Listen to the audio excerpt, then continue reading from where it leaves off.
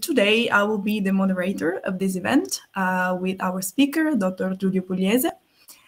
Uh, I have to say, I'm particularly happy to welcome you all because this is our first event after the long summer break. Uh, so, uh, many thanks to our events team who organized it.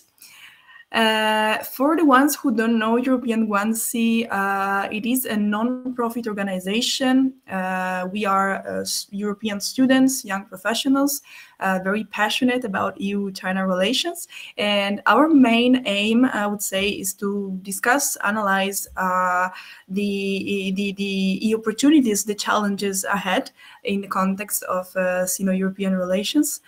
And uh, so I would invite you all to follow us on uh, social media and uh, to go visit our website uh, to be updated with our events and uh, articles, analysis that we publish on our blog. And uh, also do subscribe to our newsletter.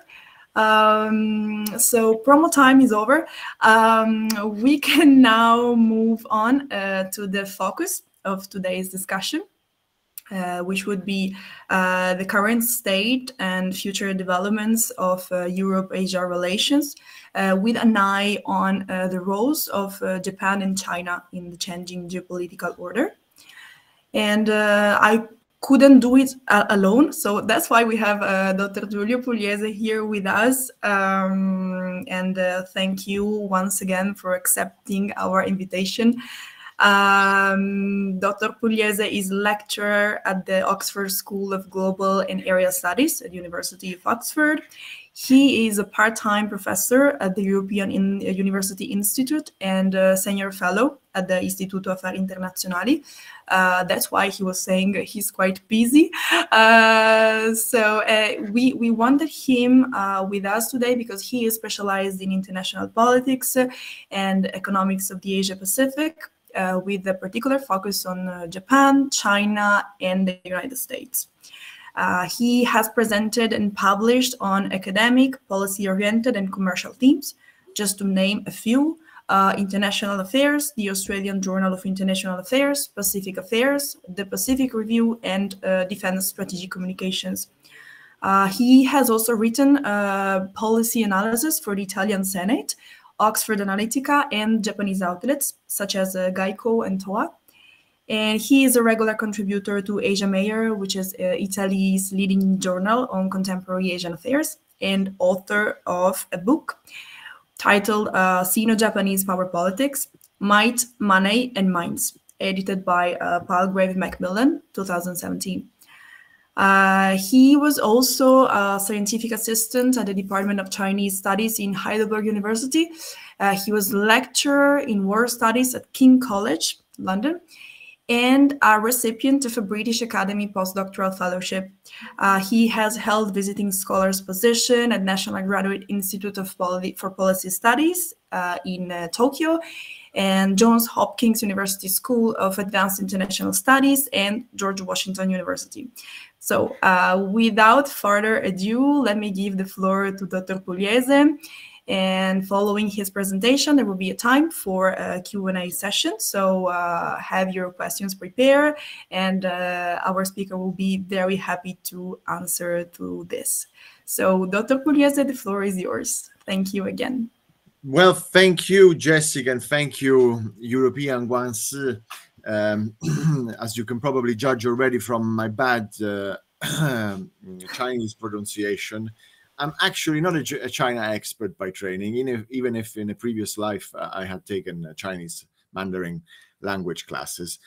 I am an intruder um, because I am a Japan expert by training. And Japan is a um, mm, very much an unspoken um, and quiet leader, really, agenda setter in many ways uh, of uh, the so called embrace of the Indo Pacific.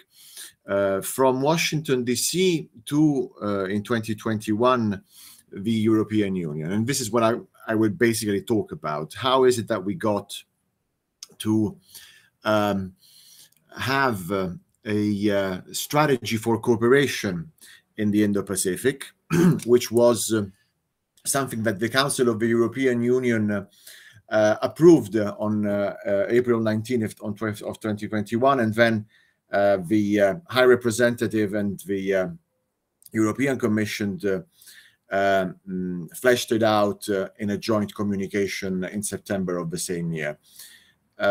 suffice to say, and this is something that we can talk during the Q&A session, that Japan was the first, uh, if you want, major power, uh, G7 power and uh, Western power broadly defined because Japan has effectively been uh, siding with the West and the so-called uh, liberal international order uh, players um, since um, the end of World War II.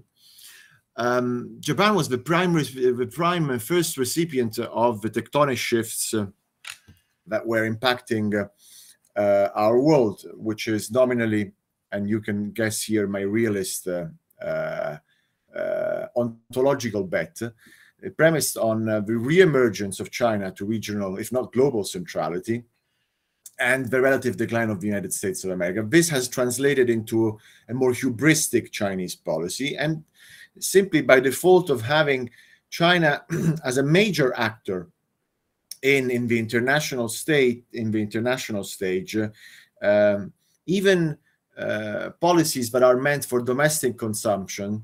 In my idea, for instance, wolf warrior diplomacy and much of China's propaganda is aimed at really pretty much at Chinese. Sorry to to interrupt you, uh, Dr. Pugliese. If you want to share your slides, feel free. You can go ahead when you want. Absolutely, this was yes. the full introduction. So sorry. Great, thank you, so, thank you. No problem. So, if if China even has policies that are mostly and principally aimed at uh, for instance, exporting overcapacity, at uh, favoring, favoring its industrial champions or pampering to uh, Chinese domestic audiences, these have ripple effects and impact pretty much on the international stage. And Japan has been the prime, uh, uh, the prime actor there, and it has tried to counterbalance China's rise, especially under the nationalistic um, and hawkish, you could say, Abe Shinzo administration. And what is less known, guys, and this is very interesting, is for the very first time in US foreign policy history, um, Washington, D.C. has acquired, uh, as is, uh, the foreign policy strategy of an allied country. And that's not Israel, that's Japan. For the first time, the US, at a meeting uh, that I have prime recollections uh, for a book that I'm writing that happened in 2017 uh, at the policy planning staff of the State Department, uh, Japanese diplomats were able to share with their American counterparts their vision for an Indo Pacific. And guess what? After America uh, enshrined the Indo Pacific strategy in a more militarized way, which actually pleased Japan, to push back against China in their national security strategy of 20 of 2017 uh, of sorry of um, um, yeah of December of 2017 and then this became the framework through which even the Biden administration approaches uh, the region if uh, in a more constructive and cooperative uh, way with allies but still with uh, China in mind Japan was also able to sell the Indo-Pacific strategy to European players to ASEAN and this is really what I'm going to talk about why is it that the European Union embraced the Indo-Pacific, and what is our definition in Europe of the Indo-Pacific? Because it's a bit of a global Rorschach test. Uh, it means many things depending on whom you ask. Uh, on whom you ask uh, um, the uh, the definition. And I'm proud and happy to share this also because the nature of our engagement in Asia, the European engagement writ large, but specifically in our case of the European Union and its member states, and I hope you can you can see the slides, um, has much to do, of course, uh, with uh, with China's rise. And I've written an article that I will happily promote by the end of this presentation. I'll try to keep it uh, short to 15, 20 minutes. As China experts or uh, uh, China watchers and young policy hands with an active interest in East Asian affairs, this is a story that really needs not to to be to be recounted in this uh, in this um, in this uh, in this webinar, but it's worth uh, going through some of the key stages. Um, China has witnessed a more risk-prone. Some would call it uh, hubristic. Some would call it aggressive. But let's just say that it has been uh, engaging in a more risk-prone approach to foreign and security policy, which actually predates the arrival of Xi Jinping. And this has coincided uh, with uh, China's um, gain in terms of material capabilities, especially at the regional level. And so what you have seen is that uh, um, China has tried to push uh, and to secure its own uh, national interests more proactively than before. This has happened uh, notably with um, the uh, territorial and maritime disputes that China has in the East and South China Sea. And this has also, of course, uh, taken uh, an up tempo uh, with the arrival of Xi Jinping.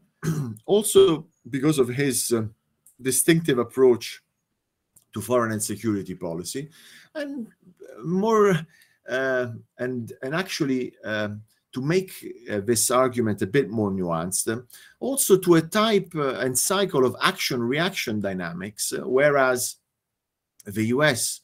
was more interested and slowly but steadily to push away from uh, uh, the greater Middle East and to relocate uh, its diplomatic, economic uh, attentions and also military attentions uh, uh, to the Asia Pacific, the famous pivot. Um, and so there are dynamics uh, that are typical of a security dilemma where uh, uh, the US willingness to embottle China, so to speak, in the first island chain, which is this set of islands that divides China from the open uh, seas of the Pacific Ocean, have elicited also a push in the South China Sea to um, claim uh, those um, geographic features, which we should not call islands as per the 2016 uh, ruling by the Permanent Court of Arbitration, to secure those territories uh, and to militarize them also for um, the purpose of avoiding uh, being avoiding being strangled uh, by the United States of America. Similarly, the Senkaku Diaoyu dispute between Japan and China, and this again I have to emphasize because it adds nuance, because we are unfortunately in a time and age when the debate is being dumped down in uh, um, uh, the Avengers versus Thanos, uh, or you know, the good guys versus the bad guys.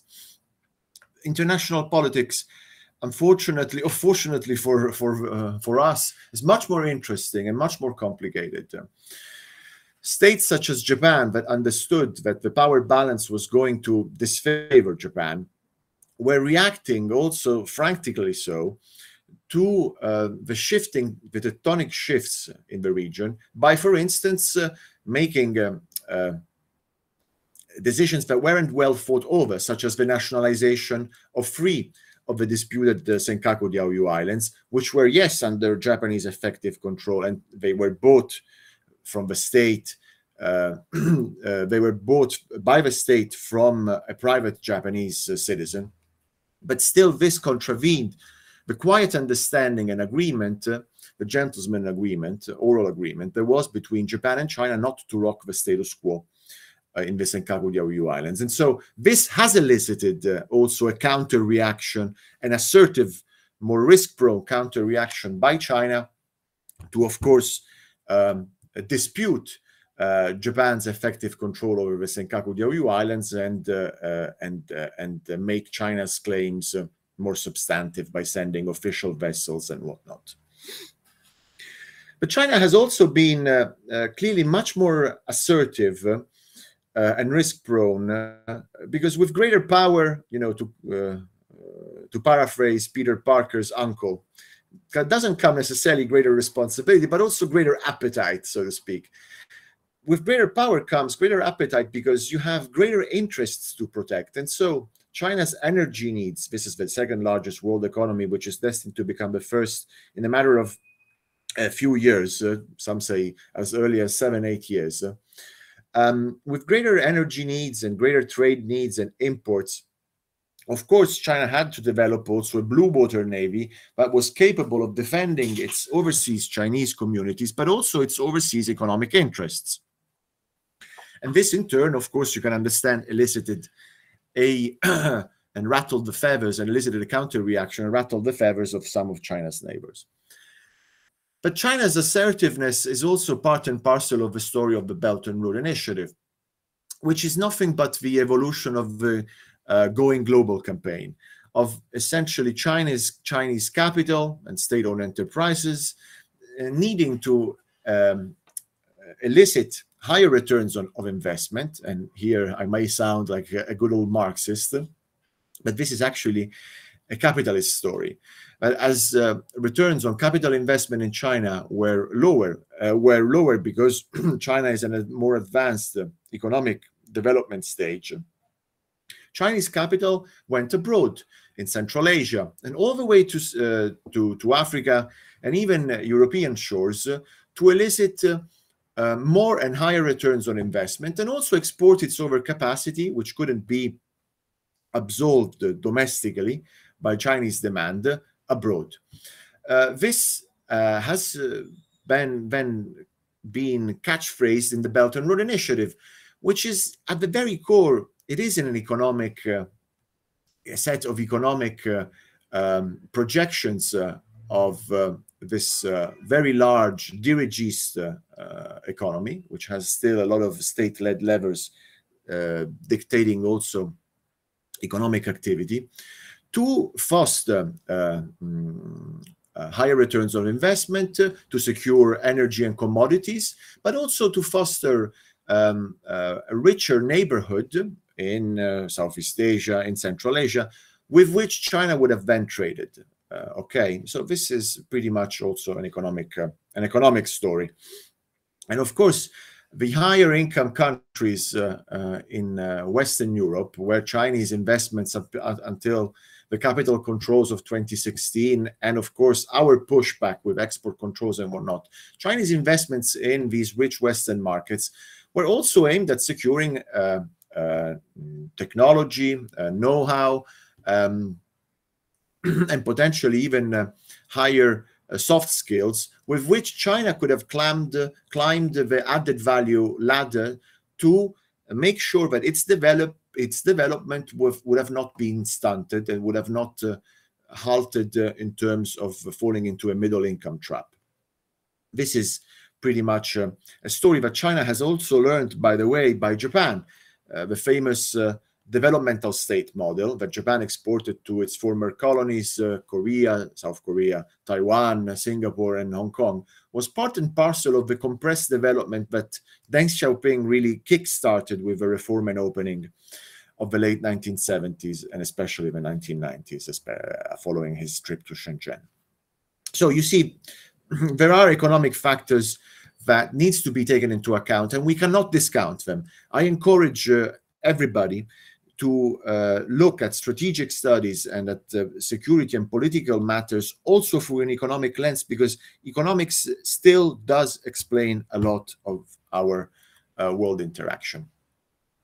Now, economics is, however, not the whole part of the story because um, with growing uh, uh, economic uh, penetration, you could say, of China's immediate neighborhood, came also the ability from China, uh, of, of China, to elicit a bigger um, political say, for instance, by having voting rights at the UN and UN agencies uh, among the prime recipients of Chinese largesse, African countries, Southeast Asian countries, and whatnot, or Central Asia. But also, this is a this is a common, this is an, an, an understandable story with greater economic uh, sway, you have also a political sway. But what is interesting is that uh, Japanese decision makers and American and Australian decision makers and Indian decision makers, for instance, were the first to recognize that uh, uh, China's economic uh, uh, story of going global, of the Belt and Road Initiative, uh, may have also come with a dual use of sorts, meaning that some of the investments could have been then uh, uh, exchanged for equity or for uh, mm, leases in strategic assets. The famous case, of course, the only case, arguably, has been the default uh, or the, the fear of default in Sri Lanka or over debt that Sri Lanka owned to mostly Western um, Western uh, um, um, loans. And the fact that China exacted in return for its own investments and loans um, the Hambantota port. And the fear among Western decision makers in Japan and, and India is that the Hambantota port, uh, like the Gwadar port in Pakistan, or the port uh, and the accord that China has with Solomon Islands, would have allowed and would allow for a greater power, military power projection of the People's Liberation Army Navy. So you see, this is a story that has to do with, yes, economics and political power, but also potentially of the securitization and the militarization of those economic ties. The other story, which I have written about, and I'm happy to share the, the, the this is another article, is the story about uh, spheres of influence, which is a 19th century story, but it's pretty much a back into the back in back to the future moment we're witnessing right now in uh, 21st, in the 21st century, meaning that China was trying to establish a sphere of influence, first and foremost, in its immediate neighborhood, uh, nominally Southeast Asia. But it was also trying to dent uh, uh, the sphere of influence of uh, India in South Asia. That's why, for instance, China has been a prime uh, has been primarily targeting not only Sri Lanka, but Pakistan and Bangladesh and Nepal. So you see, these are countries around India. And, and China has also tried to um, advance, so to speak, economically um, in uh, uh, the Western Pacific. And hence now you see initiatives uh, aimed uh, by Washington, D.C. and like-minded players aimed at denying China's uh, footprint and presence uh, in the Western Pacific. And this, of course, has the potential to create a security problem for India or for Australia if you have Chinese nuclear submarines uh, uh, docking uh, or being hidden in the waters in South Asia or hidden in the waters of the Western Pacific thanks to these ports that I've mentioned, Gwadar, uh, Hambantota, or the Solomon Islands, you see China can play coercive diplomacy versus India and versus Australia. So you see, there is a military logic here. So why is it then that Europe, of all places, is interested uh, security-wise in engaging in the uh, uh, um, in the uh, uh, so-called Indo-Pacific? Now, the Indo-Pacific deserves uh, uh, a whole presentation of its own because it's a very vague concept. Uh, the geographic scope of it, for instance, differs according to the United States of America and the Indo Pacific Command based in Hawaii, which is the one um, that basically takes care of the Seventh Fleet and of the military assets uh, um, aimed at countering China. According to them, the Indo Pacific is essentially uh, South Asia. Uh, to the tip of uh, the southern tip of India, all the way to uh, to the Pacific, uh, to the Pacific, to the Western Pacific. For the Europeans uh, in, and the Japanese, instead, the Indo-Pacific includes the western spans from the Western Pacific all the way to the eastern shores of Africa. Um, now, uh, I would love to ask a question here, but I understand that it's very hard because I'm seeing my slides. I don't see your faces, but what is important here is that the first European countries, a European country that published a, um, an Indo-Pacific strategy was was uh, France. Why was uh, France interested in the Indo-Pacific? It's very it's very straightforward, and I'm sure that many of you know the answer, because France has uh, about 2 million people, roughly 1.8 million people, Chinese, uh, sorry, French citizens, French citizens scattered in the Indo-Pacific. You can see the tiny French um, uh, flags.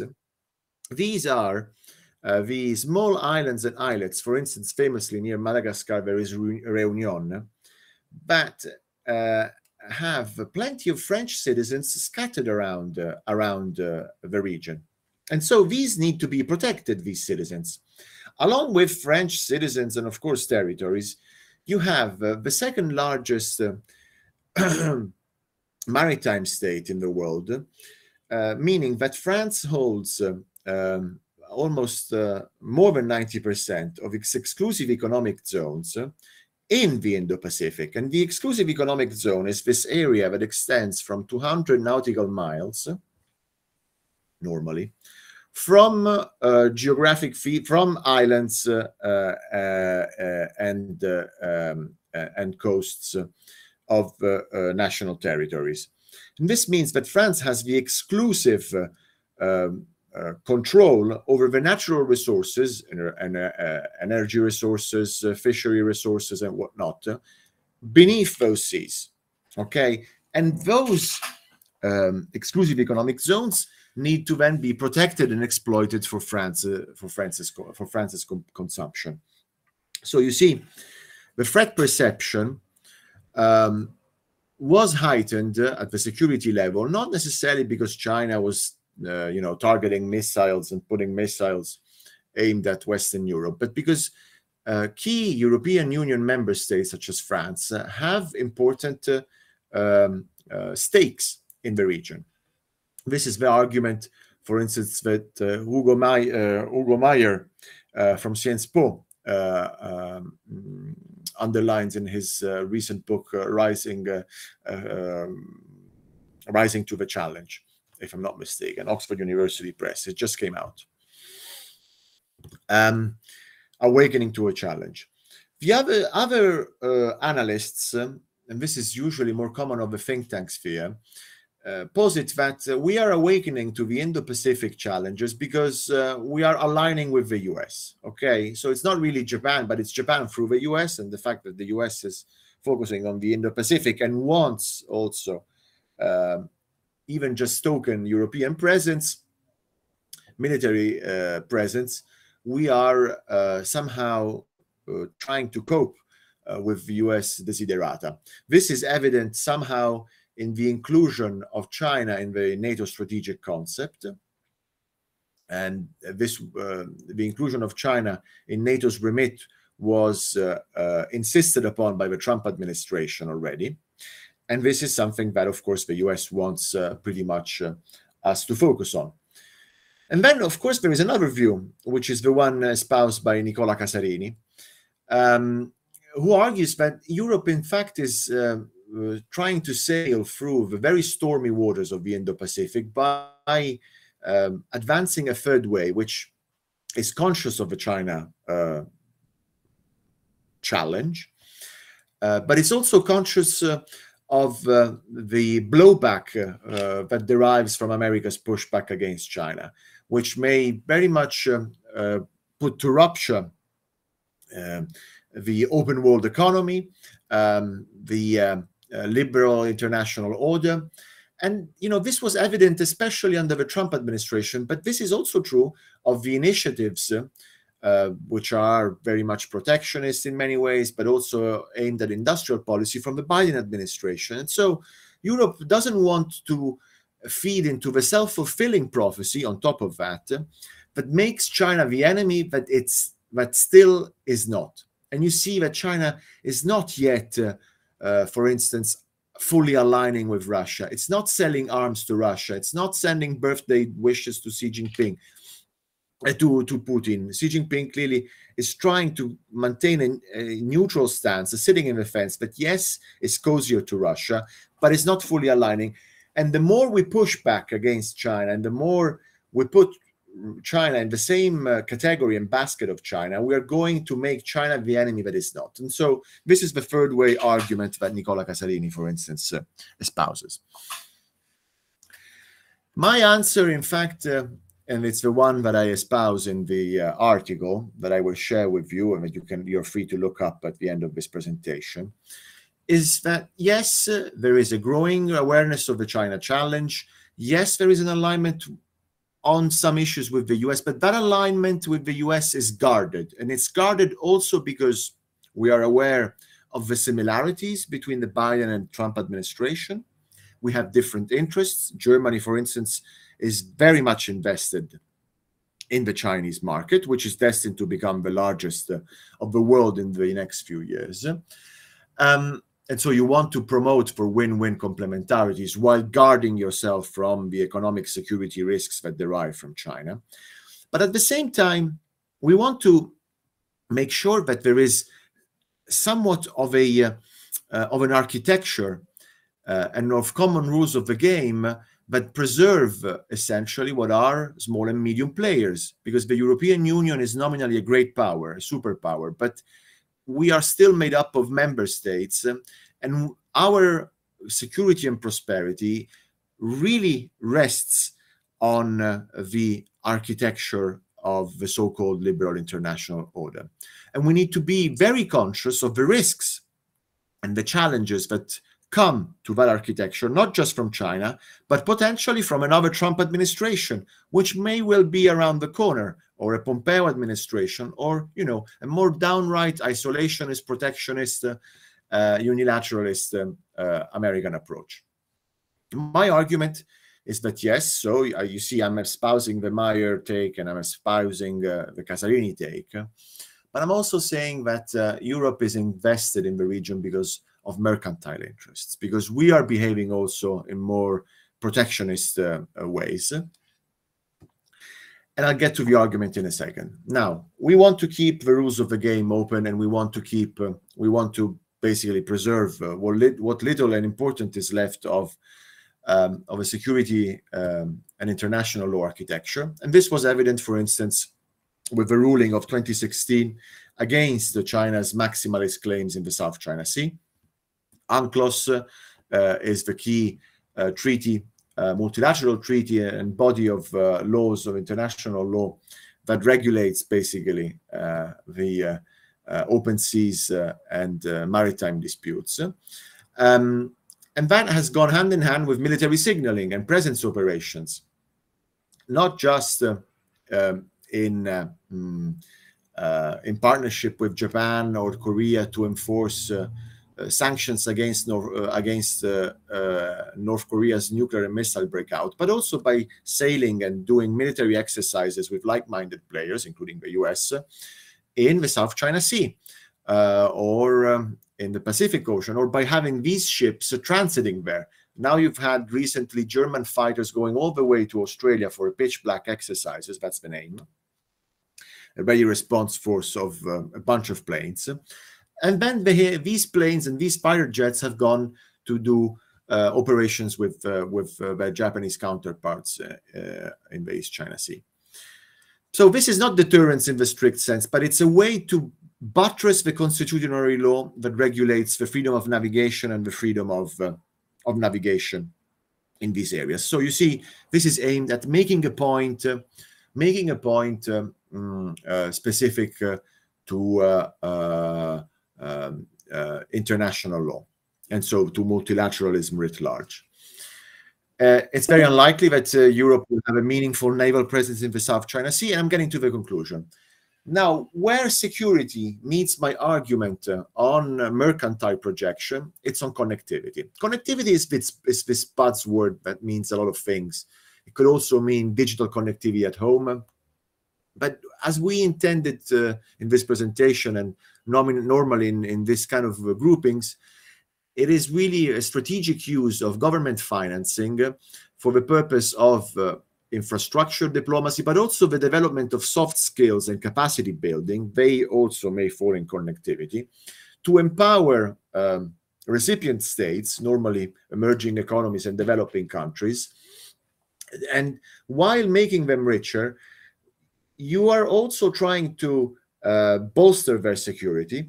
And this is evident from a new project that the European Union has launched, which will now be more synergetic with the Indo-Pacific, strategy for cooperation in the Indo-Pacific, which is the enhancing security cooperation in and with Asia. The acronym is ESIWA, but uh, the actual name, uh, in, which I forgot to include in the slide, is Enhancing Security Cooperation in and with Asia. This is led by Germany's GIZ and France's uh, expertise France, which is their government financing, uh, uh, development financing agencies. What is interesting is that the prime targets uh, are mostly Southeast Asian countries, plus India and Japan and South Korea.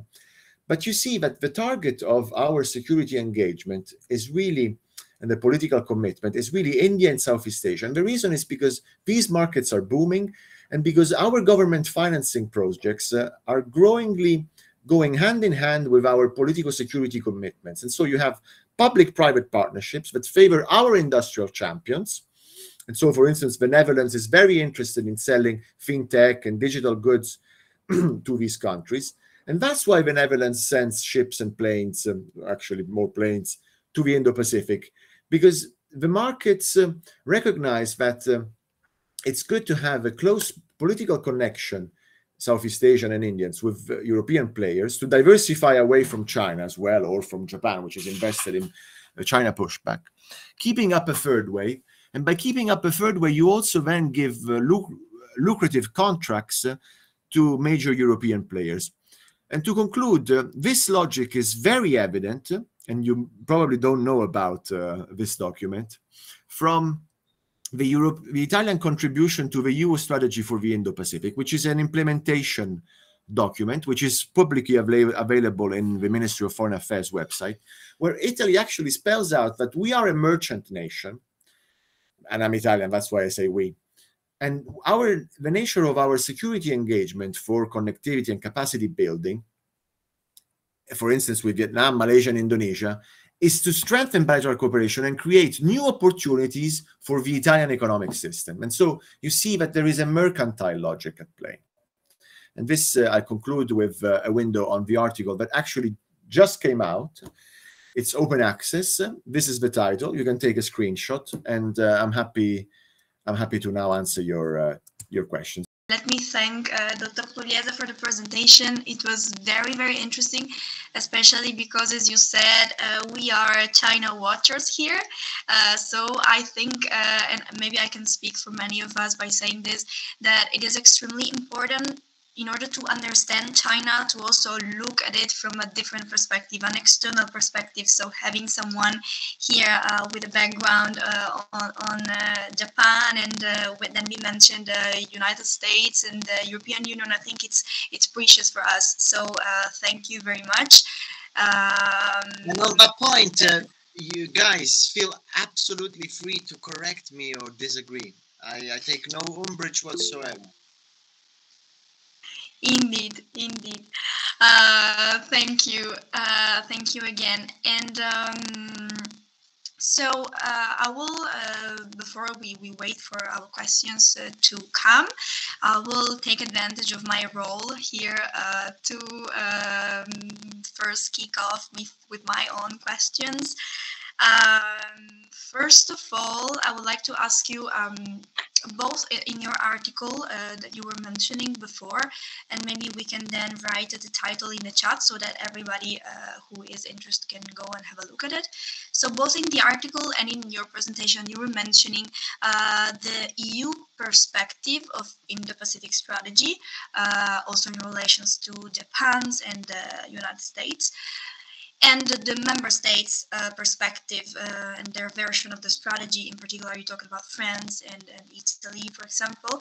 Uh, but we have uh, germany and the netherlands. So um, after that you talked about the mercantile rationale behind the indo-pacific approach um, which also uh, can have protectionist implications in a way. So my question is, uh, these mercantile interests uh, would be uh, able to hinder the unified uh, EU approach to the Indo-Pacific. Uh, so, for example, given the central role that France has when it comes to setting the agenda of uh, EU relations with the Indo-Pacific, so what's your views on that? Absolutely. Um, it works both ways. So, on one hand, of course, uh, you have uh, um, a um, uh, green transition and digitalization strategy uh, that is also aimed uh, at fostering uh, and promoting European champions worldwide. And this is done through the famous next generation EU budget reallocation and the fact that you have lots of monies for fostering these transitions. And by virtue of uh, having uh, important players, uh, uh especially in green technologies, uh, and to some extent also in digital technologies, but Europe is, is rather actually is quite weak compared to China, to the US and China. You're trying to also make sure that um, um, the uh, first mover advantage of our industrial European industrial champions become um, standard setters. This is the so-called this is part and parcel of the so-called Brussels effect. Uh, whereas, for instance, uh, by having not just um, major uh, companies worldwide setting standards, but having regulation that is exported, you're also able to then somehow um, manipulate the preferences uh, for specific uh, technologies uh, because it respects and abides by certain standards. Um, this being said, and of course, what is important to uh, remind our guests here today is that, as I mentioned in the article, uh, with Brexit, um, uh, we have lost an important voice in favor of um, uh, an open uh, mm, market economy within the union with strong anti-competitive, uh, with strong um, competi com competition elements, um, market-based competition elements. Uh, now the key players uh, of the, the EU, by sheer size, I mean, are Germany, France, and Italy. Italy, it's a different story, but let's say Italy. Let's include Italy um, all of these players are strong dirigists players that have a uh, statist uh, approach to um, economic uh, to economic interaction. And France, for instance, has been famous. The word dirigisme comes from France. France has been famous for uh, uh, building a synergy between the state and its own industrial champions and favoring favoring its own industrial champions and excellences. Um, and Germany and France, in particular, are pushing the council now to have this anti coercive uh, um, law and to have these uh, more, uh, um, I would say, um,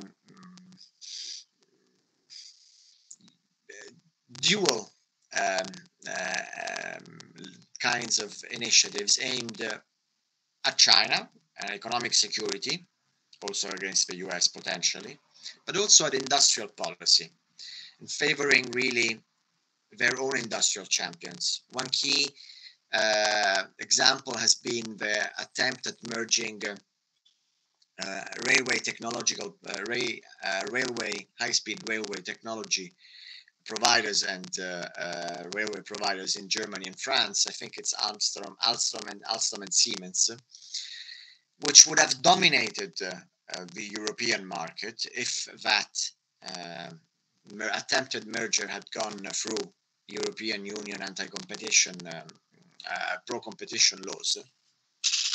But it didn't go through.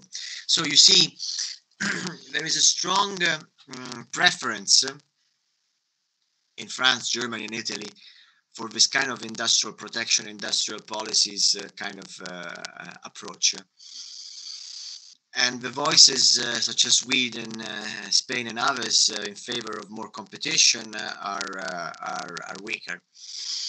and so China becomes also a fig leaf sometimes for effectively for industrial policy.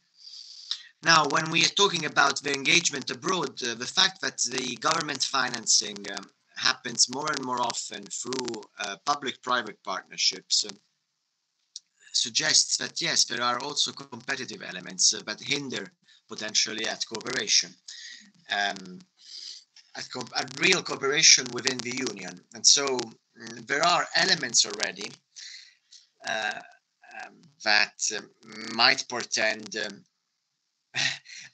a, a, more disjointed Euro, Euro, European engagement uh, uh, precisely because of these competitive dynamics.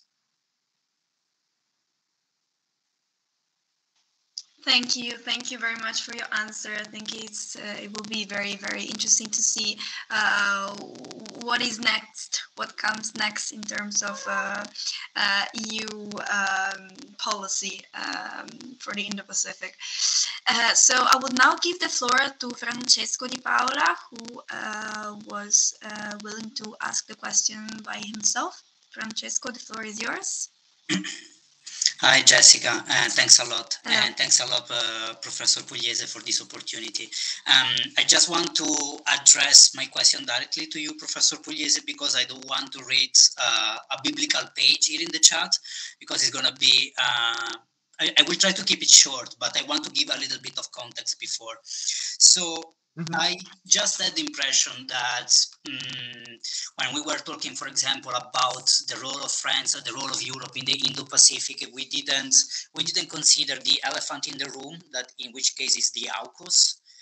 Um, so I wanted to my my question is actually related to the recent development about the AUKUS and what happened to France.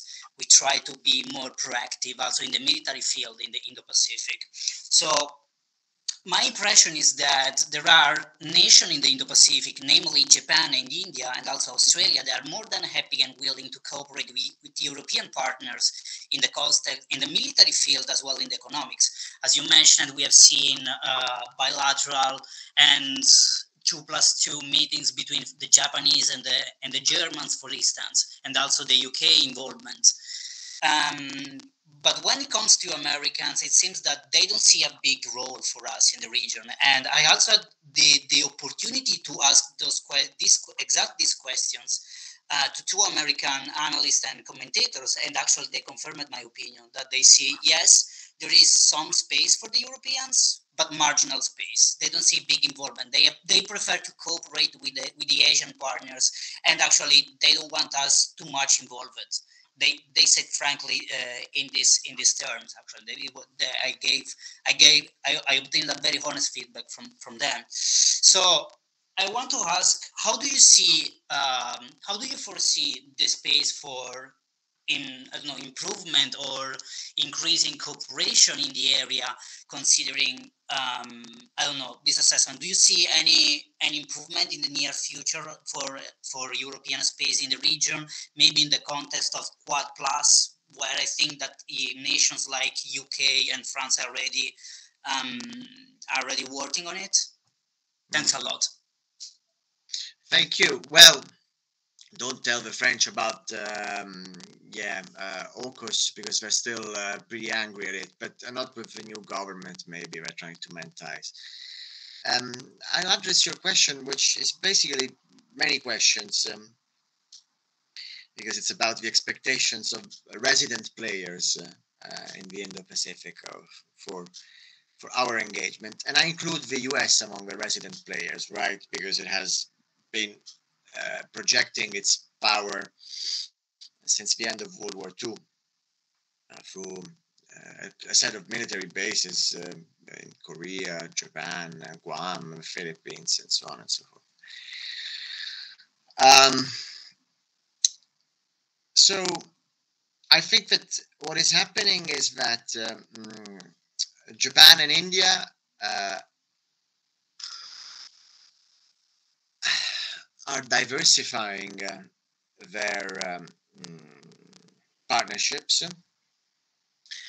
They are diversifying their partnerships because they realize that uh, US engagement cannot be taken uh, at face value. Think of a more isolationist president. And there are isolationist tendencies uh, that date back from the Obama years. Mm, because, of course, of uh, the uh, trauma of the uh, forever wars, as Biden called them, in the greater Middle East, but also of budgetary issues. So there is a, a, a potential uh, need, there is a need to diversify uh, security partnerships, the rostrum of security partnerships, also because of uh, of US disengagement, or conversely of uh, a US engagement that is too um, too confrontational against China.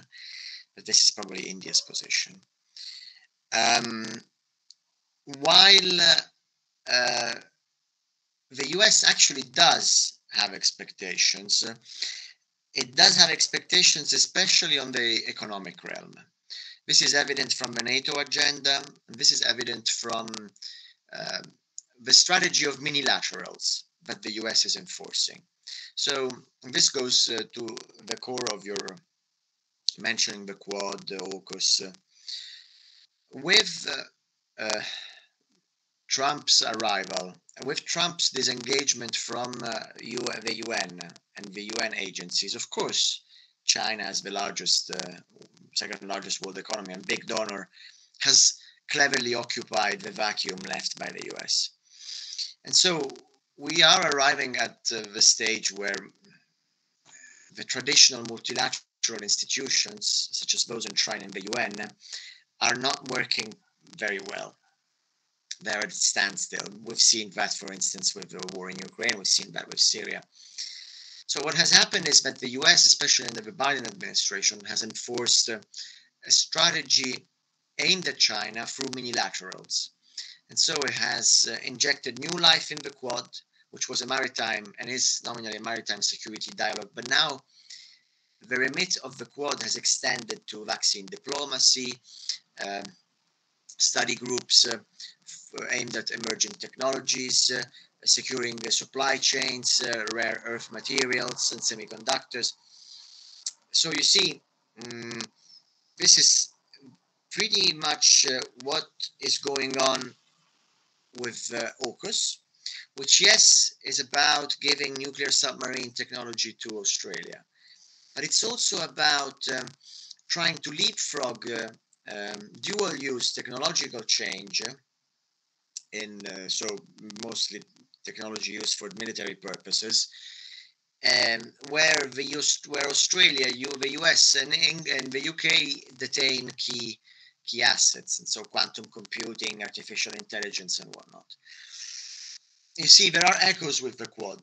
This, by the way, is what the US is pushing with Europe uh, through the Trade and Technology Council.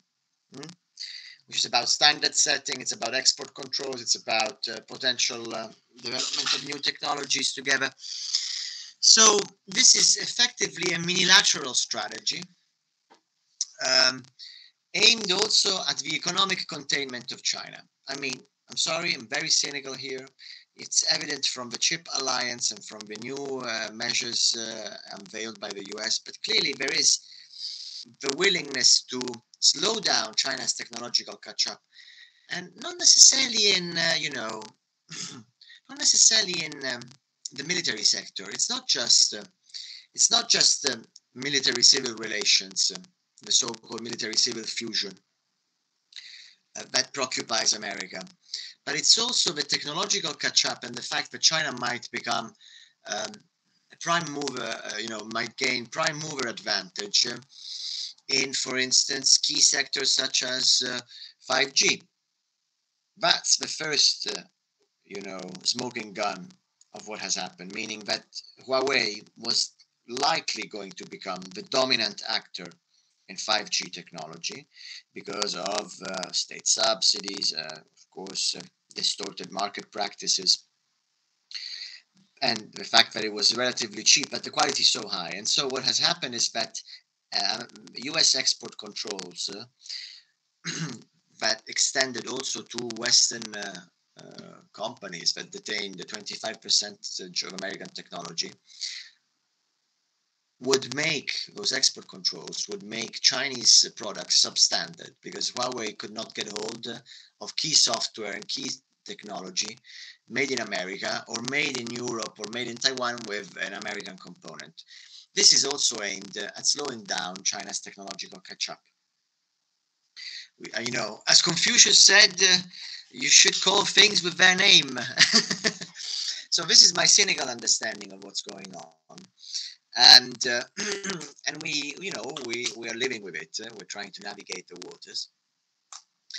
Um, and and and this is what the us uh, government for instance wants uh, from europe of course more export controls um, uh, more um, mm, um more um, denial of our technology such as um, for instance uh, the netherlands chip uh, ASML. Yes, chip producing machines. Um, and um, and and and and the like. On the security side, uh, however, I think that the US is happy that uh, that there is a presence because it's uh, it's military signaling. It's still expensive for us, but it's you know it's it's it's showing the flag uh, and it's making the point that uh, the US and Japan are not alone uh, in lamenting uh, and criticizing uh, Chinese behavior. Um, the other thing, of course, is that the US perhaps expects uh, now, with the war in Ukraine, would expect us taking good care of our neighborhood more. That's certainly something that I I envision so that the US can disengage uh, uh, and, uh, and, and, and, and focus on, on, the, on the so-called Indo-Pacific, on China. Um, and yeah, I am not sure that Japan, uh, Japan's diversification, uh, for instance, um, of its partnerships with the two plus twos with Germany, the UK, and whatnot, uh, is really really about uh, mm, substituting the, the centrality of the US Japan alliance because security wise, the US and Japan are are like you know but that's if you want to understand America's approach to China, you understand the US Japan alliance, really. Uh, because it's their prime ally, it's uh, an unsinkable aircraft carrier, and they see eye to eye on many things, including Taiwan, uh, Japan, and, and the US. And so what what I think uh, is the expectation on Japan's and America's side again uh, is really yes, some military presence and, and signaling, but also uh, more economic security. Thank uh, you. Thank you, Dr. Pugliese. I'm sorry to interrupt the discussion. Uh, it was it was extremely interesting. We could, uh, for me, we could keep talking for hours. Um, I I can uh, just um, propose you to answer very very quickly in a nutshell. Uh, last question uh, that came from uh, Lucian De Boni, who said, um, "As a realist, you understand international politics as being primarily structural." Uh, and he said uh, this was clear in your extremely instructive presentation.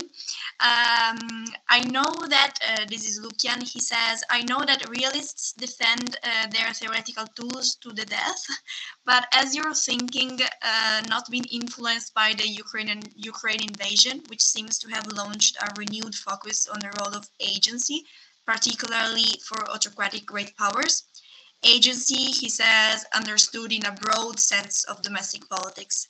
I know this is a very broad topic, but well, uh, no, just no, in a nutshell. I could go on forever. Uh, first and foremost, uh, I'm not a member of a sect. Uh, so even if it's, uh, you know, it finishes by ism or ist, uh, I, I am not going to church every Sunday, you know, where Mearsheimer is, you know, the priest or something. No, absolutely not. And secondly, I'm delighted you asked this question because if I actually were of a church, I am of a neoclassical realist school, which allows for agency within structural trends. I absolutely think that you know your your your question is bang on right. It's agency, but it's agent agency within structural constraints. it's agency within structural constraints, and so um, it does make a difference. It does make a difference that uh, uh, uh, Japan finds itself uh, between two giants, meaning the US and China, because it, Japan has to navigate between uh, um, uh, what happens among those two giants and how the power differential will favor one over the other. Uh, Putin, for all his irrationality and his gamble, and in my opinion, uh, he misread totally the situation. He was under the impression that the US was going to focus on China, that the US was not going to, you know, uh, get embroiled in another war in Ukraine, that the Ukrainians were like one uh, una faccia una razza as uh, the italians used to say of the greeks you know one race one race one face one race so you know they would have welcomed uh, the new um, the new puppet uh, autocrat teletransported uh, from uh, Moscow and Kiev. Um, and they misread Europe. They thought that perhaps, you know, we were going to depend so much on Russian gas that we were we would have capitulated immediately. And so I um, I think that uh, you know Putin himself was a hard uh, believer in uh, the structural trends of time, but but that the US was going to have a, its own attentions elsewhere, um, and uh, mm, certainly even if he even if he weren't pay, paying attention to the structural trends, the structural trends will get back to Putin, meaning that the US is still the, the, the, most important player in international politics. Europe um, is backing uh, Ukraine uh, and uh, um, uh, you know wishing for the war to end on our terms because we don't want that nasty guy as our neighbor. Um, and um, and and essentially, you know, this is power. Uh, this is power relations, uh, and Putin Putin got it wrong. Um, Thank you. That's it. Thank you. Thank you very much uh, for your... Something, something very quickly. Indeed, please. So, speaking of the economic engagement in the Indo-Pacific, uh, and going back to uh, going back to um, to Russia, uh, to Russia, and Russia's war in Ukraine, one key uh, part of the European involvement in the Indo-Pacific, which is also a security one, which might happen in the event of a Taiwan crisis scenario of an important scale, is that we replicate uh, the tough economic sanctions that we launched against uh, Russia. And they will hurt Europe eh? big time because, yes, okay, gas, uh, absolutely, definitely, it's going to be a tough winter. But, you know, closing the doors to a, such a big economy like China, because it's gonna it's gonna be painful. It's gonna be painful, and uh, and, China is not gonna feel the pain as uh, as quickly as, as as as Russia is, because Russia's economy is the size of South Korea or Spain. So it's it's a large country, but it's not that economically big. Thank you. I think this is a this is very interesting. This is a very interesting uh, point to, to think of when we also uh, ask ourselves about the role that the EU might play in a crisis, potential crisis of the um, Taiwan Strait. So uh, thank you so much, uh, Dr. Pugliese, for being with us. Uh, it's been uh, enlightening, and I'm sure I can speak uh, on behalf of everyone here. And thank you to our participants and to the events team uh, who has been coordinating all this.